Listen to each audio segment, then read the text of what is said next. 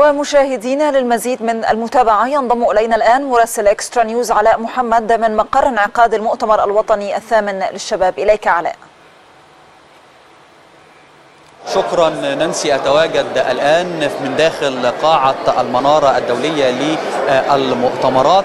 للحديث عن المؤتمر الثامن للشباب المؤتمر الوطني الثامن للشباب. منذ قليل انتهت الجلسة الافتتاحية التي تحدثت عن تقييم تجربة مصر في مكافحة الإرهاب محليا ويعني إقليميا وتم ذكر يعني أرقام مهمة خلال هذه الجلسة منها أن يعني في النصف الأول من عام 2019 زاد عدد ضحايا الإرهاب بنسبة 22% بالمقارنة بنفس الفترة من العام الماضي يعني على في العالم بشكل عام. أيضا العمليات الإرهابية زادت بنسبة 15% على مستوى العالم في عام 2019 كما أن تكلفة الإرهاب في 2018 كلفت العالم 60 مليار دولار.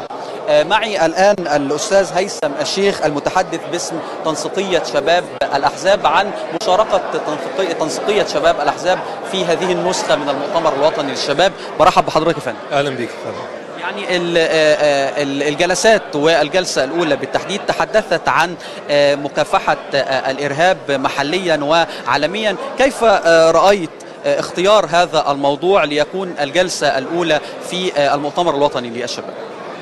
من المعلوم أن مصر دولة تخوض حرب عنيفة ضد التنظيمات الإرهابية وقوى الظلام منذ عدة سنوات. تجب دفعت فيها مصر أثمان غالية من دماء أبنائها والعديد من التضحيات.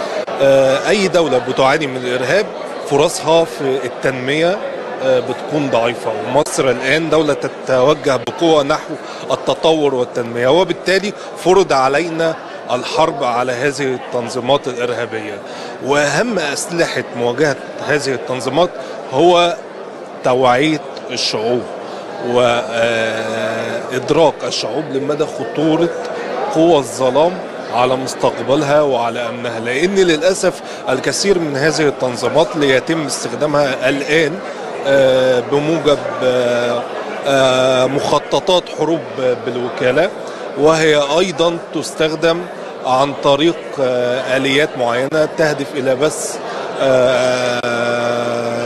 حالة من اليأس داخل المجتمعات وإظهار الدول في مظهر عدم القدرة على السيطرة ونشر ثقافة الخوف بين المواطنين. النهاردة إحنا سمعنا السيد الرئيس بيتكلم بشكل متعمق عن الإرهاب بشكل عام وانتشار هذه الظاهرة في مصر وتاريخ هذه التنظيمات في مصر وقالوا بشكل صريح إن الهدف هو جيش مصر. جيش مصر وقال نصا إن جيش مصر هو ليس فقط مركز ثقل لمواجهة هذه التنظيمات في الدولة المصرية ولكن في المنطقة بشكل عام.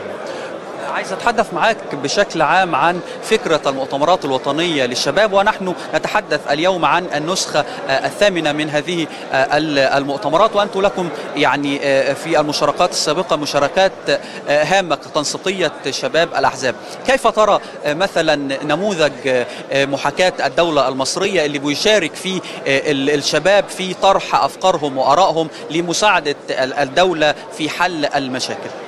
شوف بشكل عام مؤتمرات الشباب هي أحد أهم مظاهر تحضر الدولة المصرية الحديثة.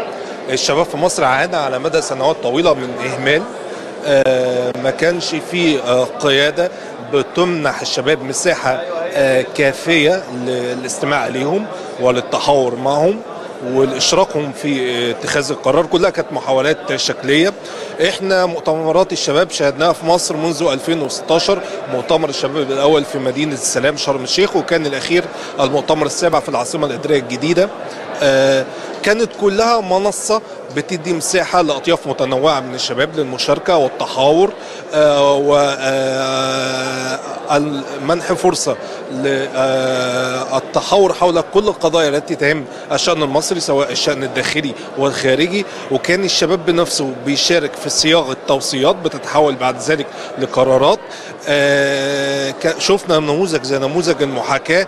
شاف فيه الشباب كيف يتم اتخاذ القرار في الدولة المصرية على مائده واحدة جلس الشباب بجوار الوزراء ورئيس الحكومة وبجوار رأس الدولة رئيس الجمهورية وطرح أفكار وطرح قضايا وكان بينتقد الدولة وكان بينتقد الحكومة وفي الكثير من الأفكار التي طرحت كانت بتحول لقرارات. المناخ ده ما كانش موجود في مصر.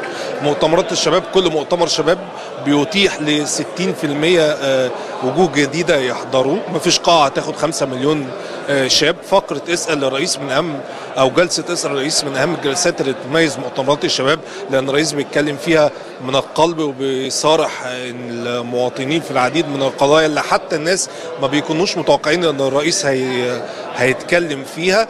أيضا اسال الرئيس بتتيح الفرصة لقطاع عريض من الشباب لم يتمكن من الحضور في المؤتمر بنفسه إنه يشارك بشكل غير مباشر عن طريق التسجيل وإعداد الأسئلة وتوجيه الأسئلة والرئيس بيتكلم عليها بمنتهى الانفتاح وبقلب مفتوح. وبصراحة والفقرة أو جلسة اسر الرئيس أصبحت من أهم ما يميز مؤتمرات الشباب ليس فقط بالنسبة لفئة الشباب بل لكل فئات المجتمع المصري. أستاذ هيثم الشيخ المتحدث باسم تنسيقية شباب الأحزاب أنا بشكر حضرتك شكرا جزيلا على هذا اللقاء يا فندم بالتوفيق شكرا جزيلا.